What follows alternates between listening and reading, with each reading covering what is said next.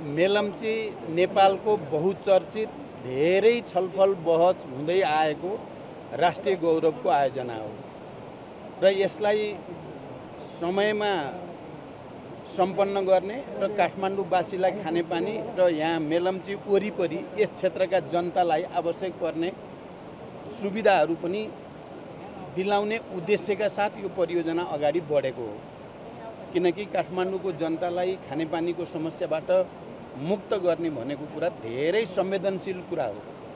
र त्यसको निम्ति यस क्षेत्रका जनताले जसरी पानी काठमाडौँलाई दिनको लागि सहयोग गरेका छन् ती जनताका आवाजहरू पनि सुन्नुपर्ने आवश्यकता हो। र यो सम्पन्न हुँदै थियो। नेपालमा हामी कहाँ प्राकृतिक प्रकोप बेला बेलामा कहिले भूकम्पको प्रकोप र गतकालमा यहाँ जुन असाधारण अभूतपूर्व भयानक चाहिँ बाढी। त्यो कसैले पनि प्रेडिक्ट गर्न सक्ने कुरा होइन। यत्रो बाढी यस रूपमा चाहिँ आउला भनेर आयोजना निर्माण गर्दा कुनै इन्जिनियर या कसैले पनि त्यो परिकल्पना गर्न सक्ने खालको होइन। त्यस्तो परिकल्पना गरेर आयोजना बन्न पनि बन्दैनन्।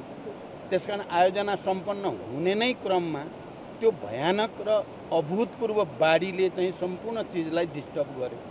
म जे भए पनि असार एक गते चाहिँ यो पानी रोक्ने निर्णय गर्ने यहाँ दुई वर्ष पहिले। जो त्यो दिन पानी खुला नै गरेको भए सायद यो परियोजना नै पुरै फेल हुन सक्ने स्थिति थियो र छ।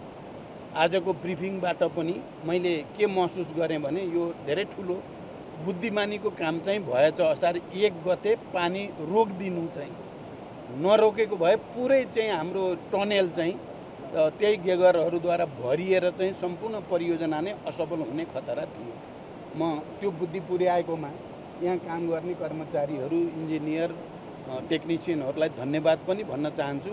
आज हुन त त्यति बेला अब सम्पन्न भयो भनेर मैले यो परियोजना उद्घाटनको बेलामा म आफै आउने भन्ने पनि थियो। यद्यपि त्यति बेला म प्रधानमन्त्रीको हैसियतमा त थिइनँ।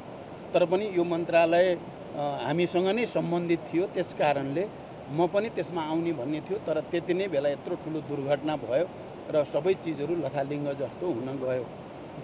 फेरि पनि अहिले आज म चाहिँ बाटोबाट आउँदा एउटा त चाहिँ बाटोको स्थिति देखेर पनि म धेरै नै कन्सर्न चिन्तित भएको छु म। यति ठुलो परियोजना यति संवेदनशील परियोजना राष्ट्रिय गौरवको आयोजनामा आउनको लागि बाटोलाई व्यवस्थित नगरेर चौबिसै घन्टा काम गर्न नसक्ने स्थिति हो भने अनि बाँकी कामहरू गर्न पनि अप्ठ्यारो हुन्थ्यो। मैले आफैले प्रत्यक्ष महसुस गरेँ र मेरो ध्यान अब काठमाडौँ गएपछि यो बाटोलाई राम्रो बनाउनको लागि सरकारको तर्फबाट गर्ने काम चाहिँ पुरा हुनेछ म त्यो विश्वास दिलाउन चाहन्छु। अनि अहिले इन्जिनियरको कार्यकारी निर्देशकको तर्फबाट जसरी ब्रिफिङ भएको छ र त्यसमा अरू पनि आवश्यक सहयोग र तयारी प्राविधिक रूपले गर्नको लागि सबै सरकारको तर्फबाट गरिनुपर्छ भन्ने पनि मैले महसुस गरेको छु।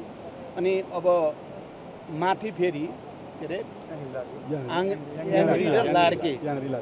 त्यहाँको दोस्रो फेजलाई अगाडि बढाउनको लागि पनि त्यत्तिकै तदारुकताका साथ काम गर्नुपर्ने आवश्यकता छ। सम्पन्न भइसक्यो। खानेपानीको कुरा भइहाल्यो। अब त सामान्य हो भनेर विकास समिति खारेज गर्ने अचानक अनि त्यसलाई चाहिँ टाइममा नबनाउने यहाँ चाहिँ त तुरुन्तै केही गर्नुपर्ने हुन्छ त पर्खेर पर्खेर प्रक्रिया पुर्याएर गर्छौँ भन्ने हुँदैन नि। बाढी आयो भने तुरुन्तै के गर्नुपर्ने होला अर्को केही भयो भने दुर्घटना हुन लाग्यो भने तुरुन्तै केही गर्नुपर्ने होला। त्यस्तो कुराको निम्ति सरकारले चाहिँ केही न केही रकम चाहिँ